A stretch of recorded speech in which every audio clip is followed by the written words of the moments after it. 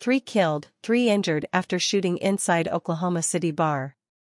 Oklahoma City, at least three people are dead and another three were injured after a shooting inside a southwest Oklahoma City bar Saturday night, police said.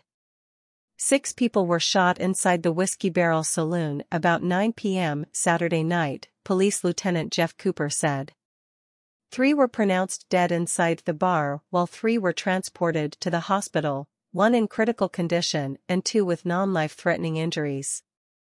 Cooper said there is no suspect information or victim updates at this time. The department typically doesn't receive updates on victims unless they die of their injuries, he said. The bar is at the corner of Newcastle and S. Shawnee Roads. Even with so many shot, Cooper said the department will treat it just like any other homicide in its investigation.